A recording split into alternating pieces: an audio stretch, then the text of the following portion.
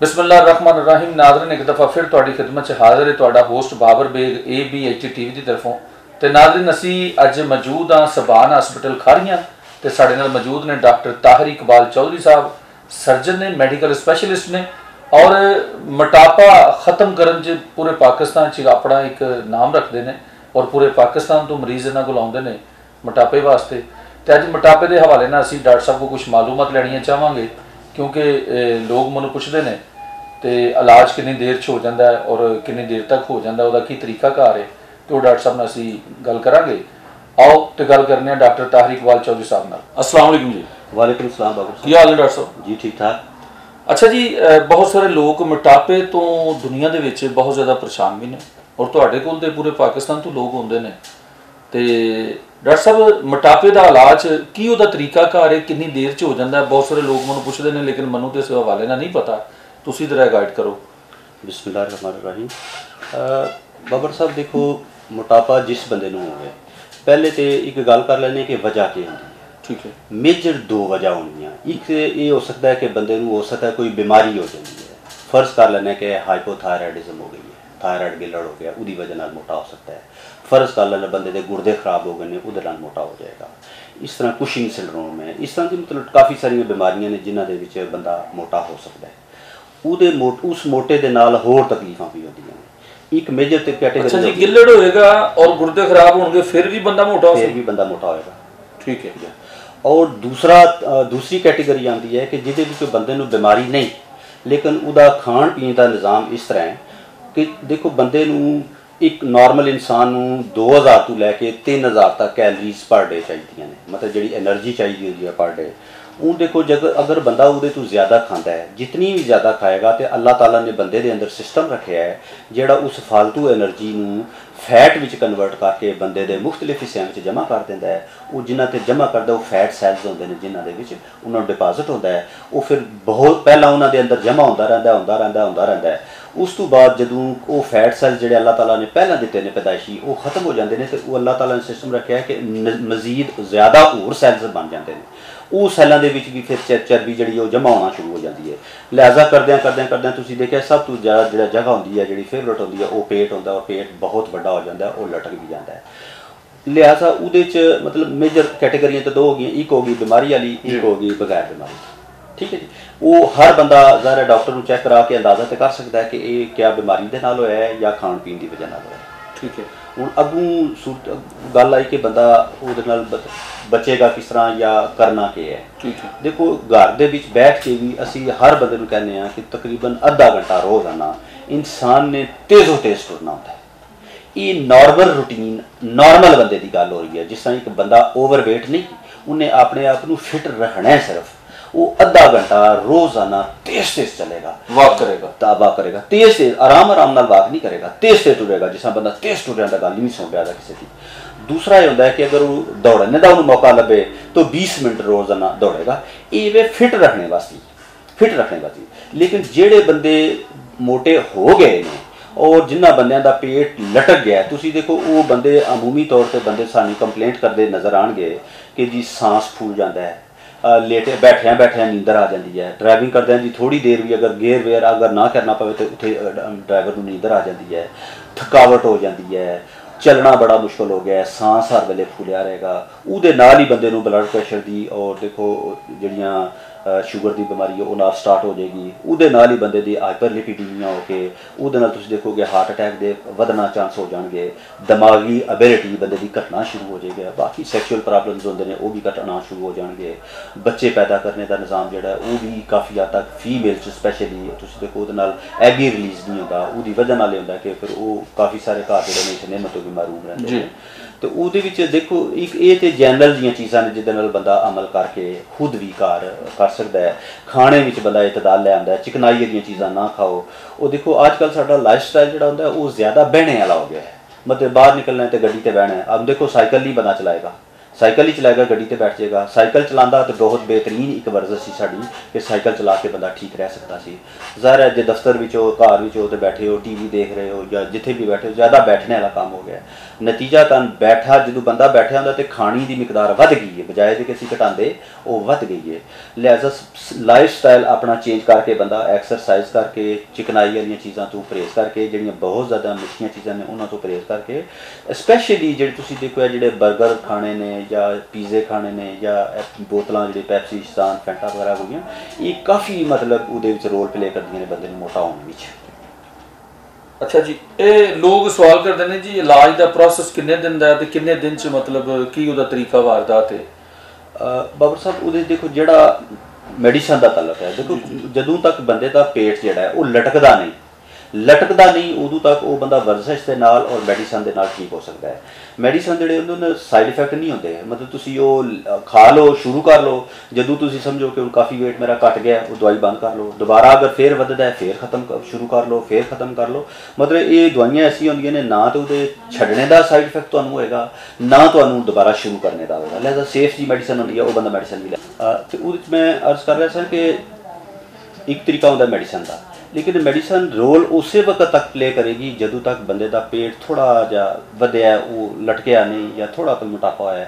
ਲੇਕਿਨ ਇੱਕ ਦਫਾ ਪੇਟ ਅਗਰ ਬੰਦੇ ਦਾ ਵੱਡਾ ਹੋ ਜਾਵੇ ਔਰ ਲਟਕ ਜਾਵੇ, ਉਸ ਵਕਤ ਫਿਰ ਬੰਦੇ ਕੋਲੇ ਆਪਣੇ ਕੋਲੇ ਇਲਾਜ ਨਹੀਂ ਰਹਿੰਦਾ। ਮੈਂ ਦੇਖਿਆ ਕਾਫੀ ਬੰਦਿਆਂ ਨੂੰ ਇਤਨ ਦੇਖੋ 35 ਸਾਲ ਹੋ ਗਏ ਨੇ ਕਰਦੇ ਇਸ ਸ਼ੋਬੇ ਵਿੱਚ।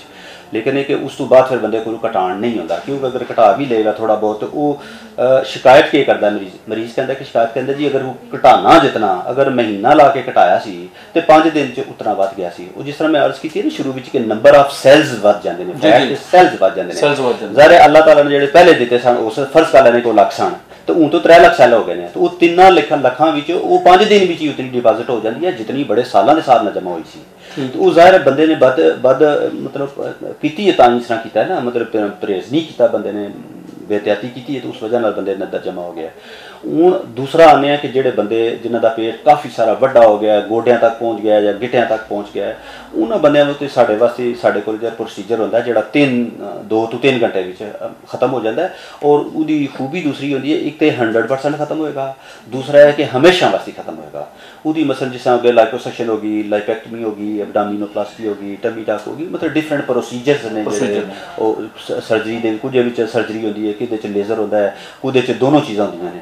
ਤੇ ਉਹ ਸਾਰਾ ਪ੍ਰੋਸੈਸ ਜਿਹੜਾ ਉਹ 2 ਤੋਂ 3 ਘੰਟੇ ਚ ਹੋ ਜਾਂਦਾ ਹੈ। ਔਰ ਜਿਹੜਾ ਡਾਕਟਰ ਤੁਸੀਂ ਪੇਟ ਛੋਟਾ ਕਰੋਗੇ ਆਂਦਾ ਵੱਡਾ ਨਹੀਂ ਹੋਏਗਾ। ਨਹੀਂ ਜੀ ਉਹ ਦੁਬਾਰਾ ਕਦੀ ਵੀ ਵੱਡਾ ਨਹੀਂ ਹੋਏਗਾ। ਉਹਦੀ ਵਜ੍ਹਾ ਇਹ ਹੈ ਨਾ ਬੰਦਾ ਪੁੱਛ ਲੈਂਦਾ ਕਿ ਕਿਸ ਤਰ੍ਹਾਂ ਵਜ੍ਹਾ ਨਹੀਂ ਵੱਡਾ ਨਹੀਂ ਹੋਏਗਾ। ਉਹਦੇ ਦੇਖੋ ਜਿਵੇਂ ਮੈਂ ਅਰਜ਼ ਕੀਤੀ ਕਿ ਨੰਬਰ ਆਫ ਸੈਲਸ ਜਿਹੜੇ ਨੇ ਉਹ ਵੱਧੇ ਹੁੰਦੇ ਨੇ। ਜਿਸ ਵਕਤ ਅਸੀਂ ਸਰਜਰੀ ਕਰਨੇ ਆ ਜਾਂ ਲਾਈਪੈਕਟਮੀ ਕਰਨੇ ਆ ਐਬਡੋਮਿਨੋਪਲਾਸਟੀ ਕਰਨੇ ਆ ਜਾਂ ਟਮੀਟਾ ਕਰਨੇ ਆ ਇਹਨਾਂ ਦੇ ਵਿੱਚ ਇਹ ਹੁੰਦਾ ਕਿ ਅਸੀਂ ਉਹ ਸਾਰੇ ਦੇ ਸਾਰੇ ਸੈੱਲ ਹੀ ਚੁੱਕ ਕੇ ਬਾਹਰ ਕੱਢ ਦੇਣੇ ਨੇ ਉਹ ਜਿਸਮ 'ਚ ਸੈੱਲ ਰਹਿਣੇ ਹੀ ਨਹੀਂ। ਲਿਹਾਜ਼ਾ ਜਦੋਂ ਸੈੱਲ ਹੋਣਗੇ ਹੀ ਨਹੀਂ ਤਾਂ ਉਹ ਫਿਰ ਫੈਟ ਕਿੱਥੇ ਡਿਪੋਜ਼ਿਟ ਹੋਏਗੀ? ਸੈਕੰਡ ਇਹ ਹੁੰਦਾ ਕਿ ਜਦੋਂ ਬੰਦੇ ਦਾ ਵਜ਼ਨ ਘਟ ਜਾਂਦਾ ਹੈ ਤਾਂ ਬੰਦਾ ਤੁਰਨੇ ਫਿਰਨੇ ਦੇ ਕਾਬਲ ਹੈ ਮੇਰੇ ਕੋਲ ਐਸੇ ਵੀ ਪੇਸ਼ੈਂਟ ਆਏ ਨੇ ਤੁਸੀਂ ਤੁਸੀਂ ਕਿਹਾ ਸੀ ਪਾਕਿਸਤਾਨ ਚੋਂ ਆਉਂਦੇ ਨੇ ਨਹੀਂ ਮੇਰੇ ਕੋਲ ਪੂਰੀ ਦੁਨੀਆ ਚੋਂ ਪੇਸ਼ੈਂਟ ਆਉਂਦੇ ਨੇ। ਔਰ ਬਾਹਰ ਦੇ ਪੇਸ਼ੈਂਟ ਜਿਹੜੇ ਮੇਰੇ ਕੋਲ ਉਹ ਜ਼ਿਆਦਾ ਨੇ। ਵਜ੍ਹਾ ਕਿ ਬਾਹਰ ਦੇ ਮੁਲਕਾਂ 'ਚ ਬਹੁਤ ਜ਼ਿਆਦਾ ਖਰਚ ਹੁੰਦਾ ਹੈ। ਜੀ, ਜੀ। ਇਤਨਾ ਪੈਸਾ ਹੁੰਦਾ ਕਿ ਤੁਸੀਂ 10 ਸਾਲ ਦੀ ਆਮਦਨੀ ਸਿਰਫ ਇੱਕ ਪੇਟ ਖਰਾਬ ਚਲਾਓਗੇ। ਲਿਹਾਜ਼ਾ ਉਹ ਬੜਾ ਉੱਥੇ ਬਾਹਰ ਦੇ ਬੰਦੇ ਨੂੰ ਬਹੁਤ ਮੁਸ਼ਕਲ ਹੋਈ ਹੈ। ਉਹ ਪਾਕਿਸਤਾਨ ਜਦੋਂ ਆਉਂਦੇ ਨੇ ਟਾਈਮ ਲੈਂਦੇ ਨੇ ਆ ਕੇ ਕਰਵਾ ਕੇ ਚਲੇ ਜਾਂਦੇ ਨੇ। ਦੇਖੋ ਉਹਦੇ ਚ ਢੇਰ ਸਾਰੇ ਬੰਦੇ ਮੈਂ ਤੁਹਾਨੂੰ ਐਸੇ ਕਹਾਂਗਾ ਜਿਹੜੇ ਬੰਦੇ ਲੇਟ ਨਹੀਂ ਸਣ ਸਕਦੇ। ਲੇਟ ਨਹੀਂ ਸਣ ਸਕਦੇ ਕਹਿੰਦੇ ਲੇਟਾਂ ਤੇ ਸਾਹ ਚੜ ਜਾਂਦਾ ਹੈ ਟੁਰ ਨਹੀਂ ਸਕਦੇ ਕੁਝ ਵੀ ਨਹੀਂ ਕੰਮ ਕਰ ਸਕਦੇ, ਹਰ ਵੇਲੇ ਬੰਦੇ ਬੈਠੇ ਰਹਿੰਦੇ ਨੇ। ਦੇਖੋ, ਉਹਨਾਂ ਬੰਦਿਆਂ ਨੂੰ ਅਸੀਂ ਵੀਲ ਚੇਅਰ ਤੇ ਲਿਆਏ ਨੇ, ਅਸੀਂ ਉਹਨਾਂ ਦਾ ਛੋਟਾ ਕੀਤਾ ਤਾਂ ਇੱਥੇ ਪੇਸ਼ੈਂਟ ਇੱਥੇ ਹਸਪੀਟਲ 'ਚ ਉਤਰ ਚੱਲਣਾ ਫਿਰਨਾ ਸ਼ੁਰੂ ਹੋ ਗਿਆ, ਚੱਲ ਕੇ ਗਿਆ। ਸਾਨੂੰ ਵੀ ਇਸ ਲਈ ਖੁਸ਼ੀ ਹੁੰਦੀ ਹੈ ਕਿ ਸ਼ੁਕਰ ਅਲਹਮਦੁਲਿਲਾ, ਚਲੋ ਇੱਕ ਕੰਮ ਕੀਤਾ ਹੈ, ਬੰਦਾ ਆਪਣੀ ਜ਼ਿੰਦਗੀ 'ਚ ਵਾਪਸ ਆ ਗਿਆ। ਹੈ। ਉਹਦੇ 'ਚ ਉਹਦਾ ਕਿ ਜਦੋਂ ਇੱਕ ਵਾਰੀ ਵਜ਼ਨ ਘਟ ਜਾਂਦਾ ਹੈ, ਤੇ ਫਿਰ ਬੰਦਾ ਖੁਦ ਵੀ ਆਪਣੀ ਨੂੰ ਮੇਨਟੇਨ ਰੱਖਣ ਵਿੱਚ ਕੋਸ਼ਿਸ਼ ਕਰ ਲੈਂਦਾ ਹੈ। ਕਿਉਂਕਿ ਉਹਨੂੰ ਪਤਾ ਹੁੰਦਾ, ਹੁਣ ਤਾਂ ਮੈਂ ਵਾਕ ਕਰ ਸਕਦਾ, ਹੁਣ ਮੈਂ ਚੱਲ ਵੀ ਸਕਦਾ ਐਕਸਰਸਾਈਜ਼ ਤੇ ਮੈਂ ਜਿਸ ਤਰ੍ਹਾਂ ਕੀਤੀ ਨਾ ਕਿ ਹਰ ਇਨਸਾਨ ਨੂੰ, ਉਹ ਮੋਟੇ ਵਾਸਤੇ ਜੀ ਸਿਰਫ ਹਰ ਇਨਸਾਨ ਵਾਸਤੇ ਇਹ ਕਿ ਵੱਡਾ ਬੰਦਾ ਜਿਹੜਾ ਉਹ ਡੇਲੀ ਅੱਧਾ ਘੰਟਾ ਤੀਜ਼ੀ ਤੀਜ਼ੀ ਨਾਲ ਚੱਲੇਗਾ। ਔਰ ਬੱਚੇ ਜਿਹੜੇ ਨੇ ਉਹ 1 ਘੰਟਾ ਚੱਲਣਗੇ ਰੋਜ਼ਾਨਾ ਦੌੜ ਭੱਜ ਦੌੜ ਭੱਜ ਕਰਨਗੇ। ਮਤਲਬ ਬੱਚਿਆਂ ਨੂੰ ਜ਼ਿਆਦਾ ਚਾਹੀਦੀ ਹੁੰਦੀ ਹੈ ਐਕਸਰਸਾਈਜ਼ ਵਰਨਾ ਬੱਚੇ ਜ਼ਿਆਦਾ ਸਪੀਡ ਨਾਲ ਮੋਟੇ ਹੋਣਗੇ। ਤੇ ਇਸ ਵਜ੍ਹਾ ਬੱਚੇ ਤੁਸੀਂ ਦੇਖੋ ਬੱਚੇ ਨਿਸਬਤਨ ਅਗਰ ਬਿਮਾਰੀ ਨਾ ਹੋਵੇ ਬਹੁਤ ਘੱਟ ਬੱਚੇ ਮੋਟੇ ਹੁੰਦੇ ਨੇ। ਉਹਦੀ ਮੇਨ ਰੀਜ਼ਨ ਹੈ ਬੱਚੇ ਸਕੂਲ ਜਾਂਦੇ ਨੇ ਖੁੱਲਦੇ ਖੁੱਲਦੇ ਦੌੜਦੇ ਨੇ। ਤੇ ਉਹਦੇ ਨਾਲ ਉਹ ਤਕਰੀਬਨ ਉਹ ਘੰਟਾ ਜਿਹੜਾ ਅਸੀਂ ਕਹਿੰਦੇ ਨੇ ਉਹ ਤਕਰੀਬਨ ਪੂਰਾ ਹੋ ਜਾਂਦਾ ਬੱਚਿਆਂ ਦਾ। ਘਰ ਵਿੱਚ ਵੀ ਆ ਕੇ ਖੇਲ ਕੂਦ ਇਹ ਉੱਤੇ ਨਾ ਛੱਡ ਸੀੜੀਆਂ ਚੜ ਸੀੜੀਆਂ ਥੱਲੇ ਟਲ ਤੇ ਉਹਦੇ ਨਾਲ ਆਪਣਾ ਕੰਮ ਚਲਾ ਲੈਂਦੇ ਨੇ। ਅਸਲ ਮਸਲਾ ਹੋਇਆ ਪਿਆ ਵੱਡੇ ਬੰਦਿਆਂ ਵਾਸਤੇ, ਜਿਹੜੇ ਬੰਦੇ ਕੁਛ ਤੇ ਬੰਦੇ ਮਜਬੂਰ ਨੇ ਸਾਰੇ ਜਿਹੜੇ ਬੰਦੇ ਆਫਿਸ ਵਰਕ ਨੇ, ਉਹ ਉਹਨਾਂ ਕੋਲ ਟਾਈਮ ਨਹੀਂ ਚਾਰੇ ਕੋਲ ਨਿਕਲਦਾ, ਅਗਰ ਸਵੇਰੇ ਤੋਂ ਲੈ ਕੇ ਸ਼ਾਮ ਤੱਕ ਡਿਊਟੀ ਹੈ। ਤੇ ਸ਼ਾਮ ਤੱਕ ਇਤਨਾ ਥੱਕ ਗਿਆ ਹੁੰਦਾ ਬੈਠ ਬੈਠ ਕੇ ਦਿਮਾਗੀ ਤੌਰ ਤੇ ਵੀ, ਉਹ ਫਿਰ ਰਿਲੈਕਸ ਹੋਣਾ ਚਾਹੁੰਦਾ, ਉਹ ਫਿਰ ਇਹ ਨਹੀਂ ਚਾਹੁੰਦਾ ਕਿ ਮੈਂ ਉੱਠ ਵਰਜ਼ਿਸ਼ ਕਰਾਂ। ਉਹਨਾਂ ਬੰਦਿਆਂ ਵਿੱਚ ਇਹ ਸਾਰਾ ਕੁਝ ਕਰਨਾ ਪੈਂਦਾ ਨਾ, ਕਿ ਜਾਂ ਤੇ ਚਲੋ ਇੱਕ ਖਾਣੇ ਵਿੱਚ ਵੀ ਚਲੋ ਇਤਦਾਲ ਲੈ ਆਵਣ ਉਹਦੇ ਵਿੱਚ ਦੇਖੋ ਸਬਜ਼ੀਆਂ ਤੇ ਫਰੂਟ ਜਿਹੜੇ ਨੇ ਫਰੂਟ ਦੇਖੋ ਉਹਨਾਂ 'ਚੋਂ ਸਿਰਫ ਤੁਸੀਂ ਪਰਹੇਜ਼ ਕਰਨਾ ਹੈ, ਕੇਲੇ ਤੋਂ, ਅੰਗੂਰ ਤੋਂ ਔਰ ਅੰਬ ਤੋਂ। ਇਹ ਤਿੰਨ ਫਰੂਟ ਜਿਹੜੇ ਨੇ, ਇਹ ਮੋਟਾਪਾ ਕਰਨਗੇ। ਬਾਕੀ ਕੋਈ ਵੀ ਜਿਤਨੇ ਵੀ ਫਰੂਟ ਹੈ ਨੇ, ਉਹ ਤੁਹਾਨੂੰ ਮੋਟਾ ਨਹੀਂ ਕਰਨਗੇ। ਔਰ ਜਿਤਨੀਆਂ ਵੀ ਸਬਜ਼ੀਆਂ ਨੇ, ਉਹ ਸਭ ਦੀਆਂ ਸਭ ਸਬਜ਼ੀਆਂ ਤੁਹਾਡੇ ਵਾਸਤੇ ਅੱਛੀਆਂ ਇਹ ਉਹ ਚੀਜ਼ਾਂ ਨੇ ਜਿਨ੍ਹਾਂ ਦੇ ਉੱਤੇ ਤੁਸੀਂ ਕਰਕੇ ਤੇ ਆਪਣੇ ਆਪ ਨੂੰ ਬਚਾ ਸਕਦੇ ਹੋ, ਆਪਣੇ ਆਪ ਨੂੰ ਤਵਾ ਨਾ ਰੱਖ ਸਕਦੇ ਹੋ। ਦੇਖੋ, ਹੁਣ ਤੇ ਦੁਨੀਆ ਤੇ ਸਭ ਤੋਂ ਜ਼ਿਆਦਾ ਤਵੱਜੋ ਜਿਹੜੀ ਹੈ, ਉਹ ਇਸੇ ਮੋਟਾਪੇ ਤੇ ਦਿੱਤੀ ਜਾ ਰਹੀ ਹੈ। ਇੰਗਲੈਂਡ ਵਿੱਚ ਦੇਖੋ ਕਾਫੀ ਸਾਲ ਪਹਿਲਾਂ, ਕਿਉਂਕਿ ਇਲਾਜ ਦੱਸਿਆ ਮੈਂ ਜਿਸ ਤਰ੍ਹਾਂ ਮਹਿੰਗਾ ਹੈ, ਔਰ ਕਿਸੇ ਪੂਰੇ ਮੁਲਕ ਵਿੱਚ, ਪੂਰੀ ਦੁਨੀਆ ਵਿੱਚ ਤੁਸੀਂ ਦੇਖੋ, ਕੋਈ ਵੀ ਗਵਰਨਮੈਂਟ ਮੋਟਾਪੇ ਦਾ ਇਲਾਜ ਨਹੀਂ ਕਰਾ ਕੇ ਦਿੰਦੀ। ਉਹ ਕਹਿੰਦੀ, ਨਹੀਂ, ਆਪਣੇ ਪੈਸੇ ਲਾ। ਕਿਉਂ? ਉਹ ਕਹਿੰਦੀ, ਤੂੰ ਮੋਟਾ ਕਿਉਂ ਆਇਆ ਮੈਂ? ਖੁਦ ਆਪਣੇ ਲਾ। ਤੇ ਇੰਗਲੈਂਡ ਦੇ ਵਿੱਚ ਦੇਖੋ, ਉਹਨਾਂ ਦਾ ਜਿਹੜਾ ਸਿਸਟਮ ਹੈ, ਉਹਨਾਂ ਨੇ ਕੁਝ ਅਰਸਾ ਪਹਿਲਾਂ ਜਿਹੜੀਆਂ ਮਿੱਠੀਆਂ ਚੀਜ਼ਾਂ ਨੇ, ਜਿਸ ਤਰ੍ਹਾਂ ਬੋਤਲਾਂ ਹੋ ਗਈਆਂ ਜਾਂ ਇਸ ਤਰ੍ਹਾਂ ਦੇ ਪ੍ਰੋਡਕਟਸ ਹੋ ਗਈਆਂ, ਉਹਨਾਂ ਤੇ ਉਹਨਾਂ ਨੇ 20% ਫालतू ਟੈਕਸ ਲਗਾਇਆ। ਔਰ ਉਹਨਾਂ ਕਿਹਾ ਕਿ ਉਹ ਟੈਕਸ ਜਿਹੜਾ ਉਹ ਸਾਡੇ ਦੂਜੇ ਇੱਕ ਪੂਲ ਵਿੱਚ ਜਾਏਗਾ। ਉਹ ਸਕੂਲ ਵਿੱਚੋਂ ਫਿਰ ਸਾਰੇ ਬੰਦੇ ਮੋਟਿਆਂ ਦਾ ਇਲਾਜ ਕੀਤਾ ਜਾਏਗਾ। ਗਵਰਨਮੈਂਟ ਨੇ ਫਿਰ ਵੀ ਨਹੀਂ ਵੋਟ ਕੀਤਾ ਇਹਦਾ ਮਤਲਬ ਜਿਹੜੇ ਬੰਦੇ ਮਿੱਠੀਆਂ ਚੀਜ਼ਾਂ ਬਣਾ ਰਹੇ ਨੇ ਜਿੰਨਾ ਵਿਕੇਗਾ ਉਹਦੇ ਤੇ 20% ਐਕਸਟਰਾ ਟੈਕਸ ਲਾਇਆ ਕਿਸ ਵਾਤੀ ਕੇ ਮੋਟਿਆਂ ਦਾ ਇਲਾਜ ਕੀਤਾ ਜਾਏ ਕਿਉਂ ਦੁਨੀਆ ਜਾਣਦੀ ਹੈ ਇਸ ਵਕਤ ਕਿ ਮੋਟਾਪੇ ਦੇ ਨਾਲ ਹੀ ਤੁਹਾਨੂੰ ਸਾਰੀਆਂ ਬਿਮਾਰੀਆਂ ਹੋਣੀਆਂ ਨੇ ਪੇਟ ਦੀਆਂ ਬਿਮਾਰੀਆਂ ਤੁਹਾਨੂੰ ਹੋਣੀਆਂ ਨੇ ਪਿੱਤੇ ਦੀ ਬਿਮਾਰੀ ਤੁਹਾਨੂੰ ਹੋਣੀ ਹੈ ਮੇਦੇ ਦੀ ਬਿਮਾਰੀ ਤੁਹਾਨੂੰ ਹੋਣੀ ਹੈ ਹਾਰਟ ਦੀ ਤੁਹਾਨੂੰ ਹੋਣੀ ਹੋਣੀ ਹੈ ਸ਼ੂਗਰ ਦੀ ਤੁਹਾਨੂੰ ਹੋਣੀ ਹੈ ਫੇਫੜਿਆਂ ਨੇ ਖਰਾਬ ਹੋਣਾ ਹੀ ਹੋਣਾ ਹੈ ਦਿਮਾਗੀ ਕੈਪੇਬਿਲਿਟੀ ਘਟਣੀ ਘਟਣੀ ਹੈ ਚੱਲਣਾ ਫਿਰਨਾ ਸਾਰਾ ਹਰ ਚੀਜ਼ ਤੁਹਾਡੀ ਖਰਾਬ ਹੋ ਕੇ ਰਹੇਗੀ ਤਾਂ ਉਹ ਦੁਨੀਆ ਤਵੱਜੋ ਇਹਦੇ ਤੇ ਜ਼ਿਆਦਾ ਦੇ ਰਹੀ ਹੈ ਕਿ ਜੋ ਕੁਝ ਵੀ ਹੋਵੇ ਪਹਿਲਾ ਮੋਟਾਪਾ ਬੰਦਾ ਠੀਕ ਹੋਵੇ ਸਿਹਤ ਤਵਾ ਨਾ ਹੋਵੇ ਔਰ ਤੁਸੀਂ ਦੇਖੋ ਸਾਰੇ ਬੰਦੇ ਨੂੰ ਕਿਹਾ ਜਾਂਦੇ ਕਿ ਐਕਸਰਸਾਈਜ਼ ਕੀਤੇ ਕਿਸੇ ਡਾਕਟਰ ਕੋਲ ਪੁੱਛ ਲਓ ਤੁਹਾਨੂੰ ਕਹੇਗਾ ਕਿ ਐਕਸਰਸਾਈਜ਼ ਜਿਹੜਾ ਉਹ ਸਭ ਤੋਂ ਬਿਹਤਰੀਨ ਚੀਜ਼ ਹੈ ਜੀ ਬਹੁਤ ਸ਼ੁਕਰੀਆ ਡਾਕਟਰ ਸਾਹਿਬ ਤੁਸੀਂ ਆਪਣੇ ਕੀਮਤੀ ਟਾਈਮ 'ਚ ਤੁਹਾਡੇ ਚੈਨਲ ਨੂੰ ਟਾਈਮ ਦਿੱਤਾ ਔਰ ਇਨਸ਼ਾਅੱਲਾ ਅਸੀਂ ਫਿਰ ਉਮੀਦ ਕਰਾਂਗੇ ਕਿ ਤੁਸੀਂ ਦੁਬਾਰਾ ਸਾਨੂੰ ਗਾਇਬ ਬਗਾਇ ਟਾਈਮ ਦਿੰਦੇ ਰਹੋਗੇ ਔਰ ਸਾਡੇ ਜਿਹੜੇ ਨਾਜ਼ਰੀਨ ਨੇ ਉਹਨਾਂ ਨੂੰ ਆਪਣੇ ਮਫੀਦ ਜਿਹੜੇ مشورے ਨੇ ਉਹਨਾਂ ਨਾਲ ਨਵਾਜ਼ਦੇ ਰਹੋਗੇ ਤੇ ਨਾਜ਼ਰੀਨ ਮੋਟਾਪਾ ਜਿਹੜਾ ਉਹ ਦੁਨੀਆ ਤੇ ਕਿਸੇ ਅਜ਼ਾਬ ਨਾਲੋਂ ਘੱਟ ਨਹੀਂ। ਔਰ ਕੋਸ਼ਿਸ਼ ਕਰੋ ਮੋਟਾਪੇ ਤੋਂ ਬਚੋ। ਇਹਦੇ ਨਾਲ ਹੀ ਤੁਹਾਡਾ ਹੋਸਟ ਬਾਬਰ ਬੇਗ ਤੁਹਾਡੇ ਕੋਲ ਚਾਹੇਗਾ ਇਜਾਜ਼ਤ। ਇਹ ਵੀਡੀਓ ਕੈਸੀ ਸੀ? ਲਾਈਕ ਕਰਨਾ ਕਮੈਂਟਸ ਕਰਨਾ ਤੇ ਅਗਰ ਤੁਹਾਨੂੰ ਜ਼ਰੂਰਤ ਹੋਵੇ ਤਾਂ ਡਾਕਟਰ ਸਾਹਿਬ ਨਾਲ ਰਾਬਤਾ ਕਰਨਾ। ਇਹਦੇ ਨਾਲ ਹੀ ਮੈਂ ਤੁਹਾਡੇ ਕੋਲ ਇਜਾਜ਼ਤ ਚਾਹਾਂਗਾ। ਚਲਦੇ ਚਲਦੇ ਪਿਆਰੇ ਦੇਸ਼ ਦੇ ਨਾਲ ਕਿ ਪਿਆਰਾ ਜਨਾਰਾ ਪਾਕਿਸਤਾਨ ਜ਼ਿੰਦਾਬਾਦ।